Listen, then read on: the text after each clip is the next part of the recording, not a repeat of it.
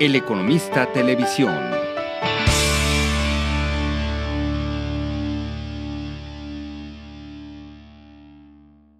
El huracán Matthew se acercaba esta madrugada a Haití y Jamaica y los primeros en riesgo son los más de 50.000 haitianos que siguen en tiendas de campaña tras el sismo de 2010. Los fuertes vientos y lluvias que se esperan del huracán Matthew ponen a esas personas en extrema vulnerabilidad de acuerdo al reporte del pasado sábado, señaló el sitio electrónico haitilibre.com. En Haití todos los comités regionales de protección civil se encuentran en alerta y suman 576 los albergues disponibles con capacidad conjunta para 88.000 personas durante tres días.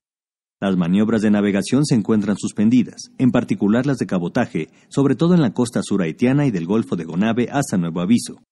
En Jamaica, el Servicio Meteorológico precisó que el centro del huracán se espera que pase por el suroeste de Haití este mismo lunes que anoche lo ubicaba a unos 500 kilómetros de Puerto Príncipe y 400 de las costas jamaiquinas.